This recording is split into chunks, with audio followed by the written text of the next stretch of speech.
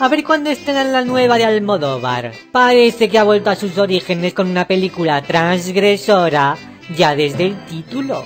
Los ojetes rotos. Es los abrazos rotos. Ojetes. Abrazos. Ojetes. Abrazos. Ojetes. Abrazos. No sé qué ha pasado.